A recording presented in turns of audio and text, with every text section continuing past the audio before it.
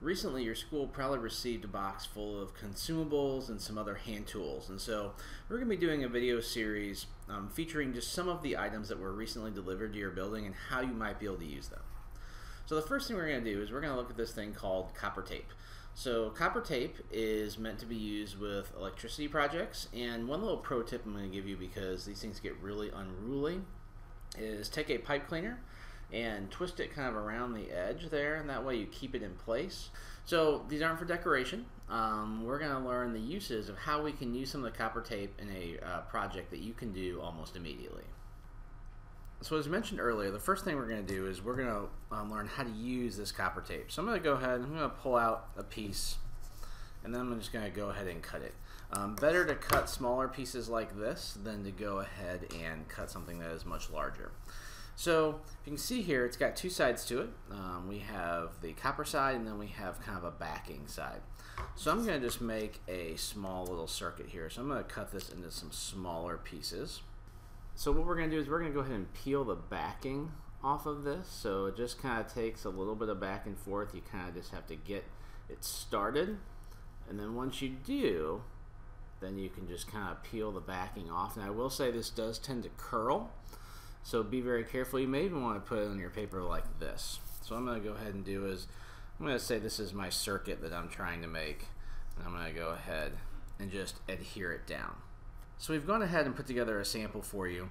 You're going to see here in our circuit we have our two pieces of copper tape.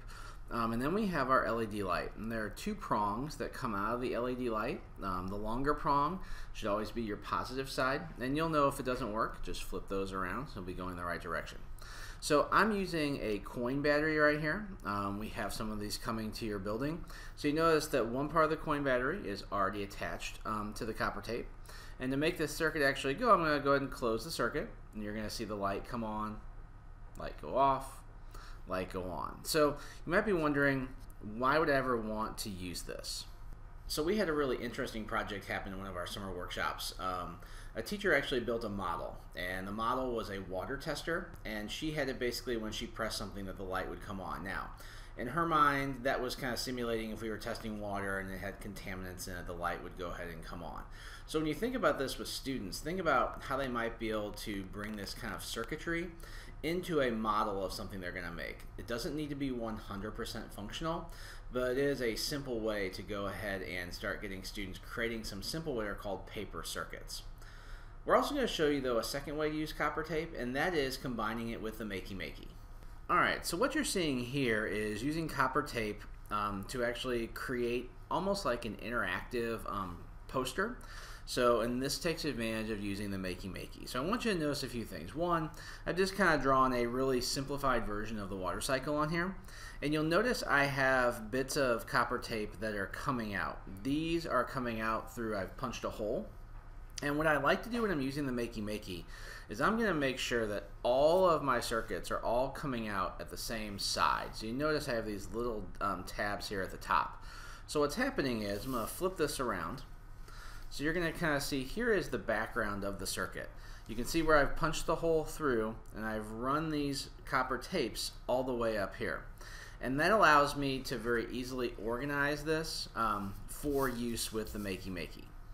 So this would be as simple as thinking of any project that you would want students to demonstrate knowledge, but you want to create what I call a kiosk. Think of it as going to a museum where students are going to, um, or participants will be interacting with something, but then there's going to be a computer screen where something is going to change, and we'll show a sample of that at the very end. So how do I use the Makey Makey with this? If you're not familiar with the Makey Makey, it is a way to allow um, physical connections to your computer that can allow you to control that computer. So in this case, the Makey Makey has these four arrow keys. Those are going to represent the arrow keys um, on your keyboard.